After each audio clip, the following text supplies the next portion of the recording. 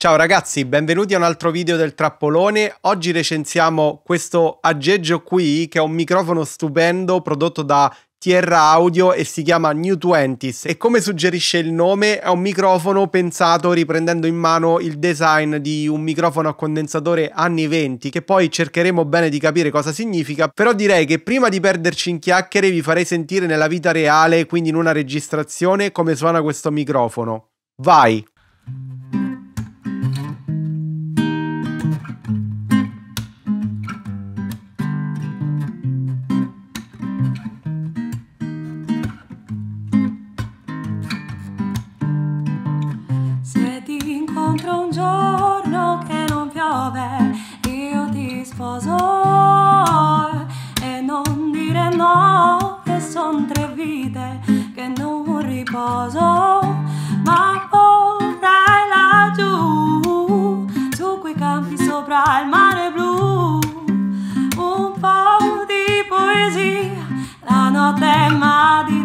Nostalgia.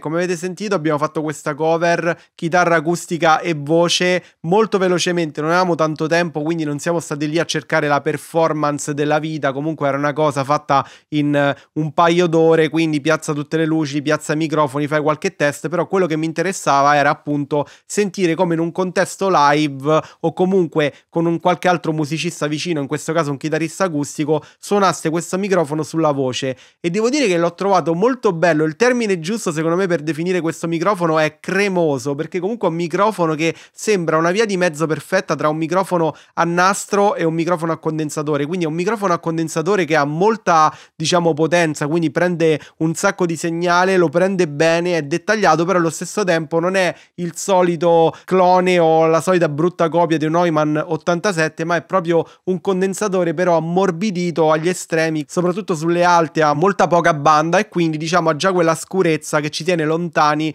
da quella abrasività, da quella sibilanza. Poi vi lascio le tracce in free download flat in modo che potete sentire e potete divertirvi anche voi a mixarla, ma vi dico che su questa sessione che avete sentito alla fine ho caricato giusto un po' di equalizzazione, una leggera compressione, non ricordo nemmeno se ho utilizzato il DS e poi una catena finale per poterlo finalizzare e poterlo inserire nel video che avete appena sentito. Ora mi sembra anche giusto farvi sentire qualche test e qualche paragone di questo microfono in flat con il microfono microfono su cui sto parlando, quindi un paragone giusto per sentire come prende, com'è il suo pattern polare e com'è la sua risposta. Ok, questo è il Tierra Audio New 20s completamente flat, ho solo normalizzato l'audio e adesso lo stiamo sentendo senza il suo pop filter. Mettiamo il suo pop filter.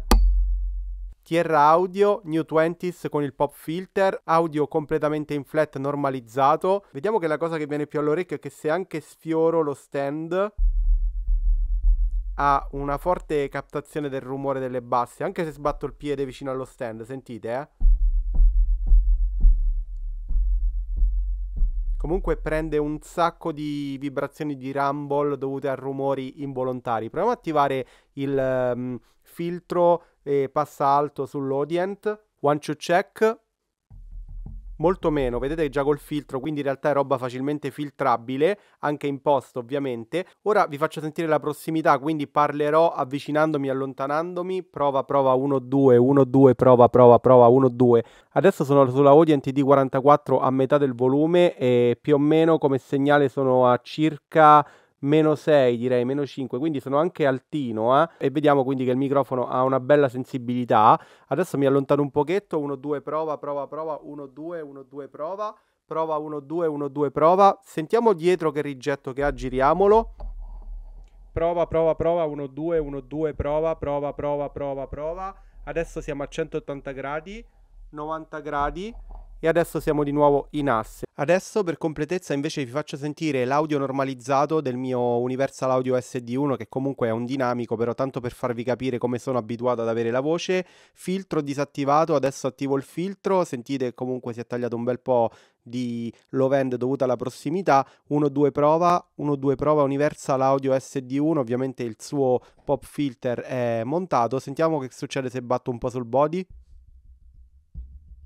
molto molto meno rumble, meno problemi. Quindi vedete che effettivamente questo microfono, chiaramente per il colore che dà e per come è concepito, ha sicuramente molto più rientro dovuto a rumori di boundaries, quindi di eventuali colpi sullo stand, di colpi sul pavimento su cui poggia e quindi chiaramente è un microfono molto molto incline a prendere tutto quello che potreste non volere, ma allo stesso tempo sentite come il timbro già soltanto di un dinamico risulta essere molto più aperto, mentre questo è un po' più chiuso, un po' più ciccione, un po' più colorato, quindi comunque un microfono che effettivamente fa quello che dice. Ok, avrete notato che il microfono effettivamente anche paragonato ad un dinamico flat suona molto scuro è per quello che appunto l'ho definito come una perfetta fusione tra un microfono a condensatore e un microfono a nastro perché ci sento un po' i pregi di tutti e due i microfoni e per esempio il microfono a nastro ha il pregio che è molto scuro, molto naturale, però allo stesso tempo ha poca output, invece questo microfono essendo a condensatore quindi alimentato dalla Phantom a 48 volt è un microfono che è molto facile da amplificare anche con segnali di basso volume, quindi prende bene i parlati, i sussurrati, senza tirare fuori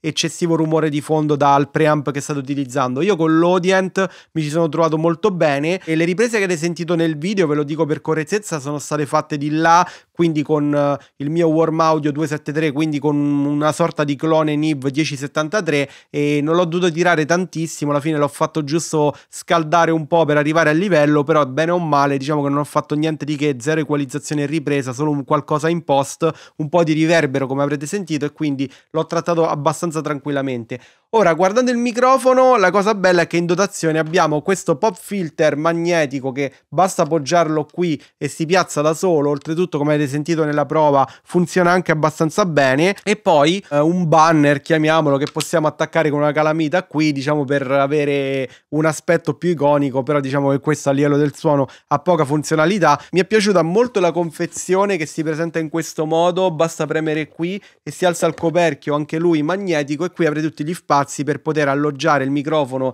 e i suoi fronzoli in maniera super sicura. Ora, quindi il microfono mi è piaciuto molto. Devo ammettere che comunque è un microfono bello costoso, ma se lo guardate da vicino e lo prendete in mano è molto pesante, è costruito veramente bene, si vede che comunque è una cosa fatta a mano, cavo XLR di qualità, connettore di qualità placcato in oro, quindi comunque effettivamente è un microfono che merita i soldi che costa. È un microfono che comunque sono tentato a prendere perché devo dire che ha un carattere molto molto particolare, l'ho provato anche con chitarre acustiche, non ve lo faccio sentire perché la chitarra acustica acustica ce l'ho suonata io e mi vergogno perché non sono bravissimo e la performance non darebbe giustizia a questo microfono. E devo dire anche come un microfono di batteria veramente fa il suo lavoro comunque da quel tono retro in maniera molto più facile di come lo darebbe un microfono a nastro, chiaramente ha i suoi pregi perché essendo un microfono a condensatore la sua potenza, la sua sensibilità permettono comunque di tirare fuori timbri molto realistici e comunque è molto facile tirarci fuori un segnale che è ascoltabile anche su dispositivi piccoli proprio per il fatto che comunque rimane un microfono a condensatore e quindi con una certa definizione paragonato con un microfono a nastro. Il eh, concetto anni 20 l'ho capito in questo microfono, però c'è anche da dire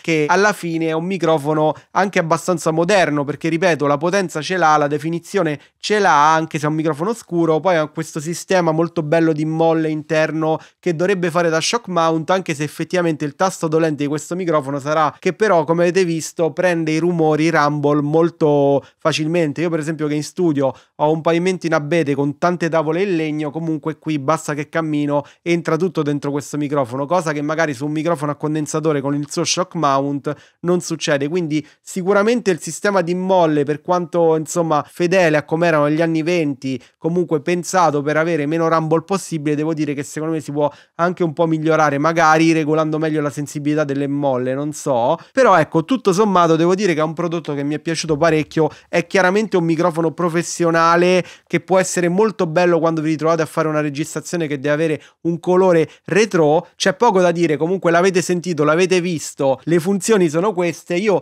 direi che comunque un giro di prova con questo microfono nella vita dovete farcelo perché comunque è molto molto interessante come Tier Audio con questo prodotto sia uscito fuori dal gregge perché comunque ripeto qui si parla sempre dei soliti microfoni o copiano gli SM7B della Shure oppure copiano l'87 sono usciti centinaia di condensatori tutti bellissimi in questi ultimi due anni però abbiamo capito che bene o male sia sempre a cercare di copiare o l'87 della Neumann o il 414 della HG e così via ecco questo è un microfono che sicuramente per il discorso che ha dietro, un microfono che si può considerare unico. Oltretutto la sua qualità di costruzione, il suo peso, la sua solidità mi fanno capire che questo è un microfono che difficilmente potrebbe dare problemi comunque a un carro armato, c'è poco da fare. Oltretutto il cavo, questo qui è massiccissimo, questo comunque è un connettore che costa, questo è un cavo che si vede che costa, tutto bello schermato e protetto con la stoffa a maglia, comunque diciamo che la qualità è innegabile che ci sia. E vabbè, detto questo io ringrazio Milk Audio Store per avermelo mandato, avermelo fatto provare, mi hanno mandato anche altri prodotti di cui vi parlerò presto, tutti molto